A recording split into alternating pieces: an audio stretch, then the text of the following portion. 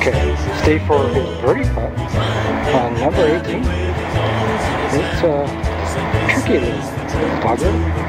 Let's see if he can read subtle break. I think it's going to break a little bit from left to right, but we're not sure. So he's having a little trouble reading this, I think.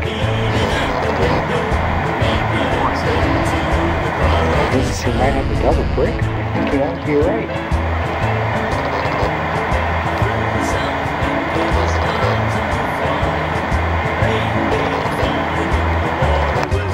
For the birdie.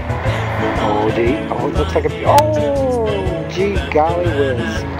A beautiful attempt. That was for birdie, and here we are for par. The day, actually, what this is, three days after the snowpocalypse. So here's our deep freeze thaw par putt. Hope I don't miss it. Number 18, seal. Deal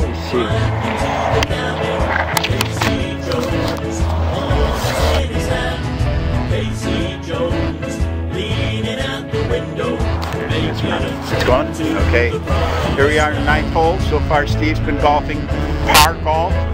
Unfortunately, he's lying two in a trap.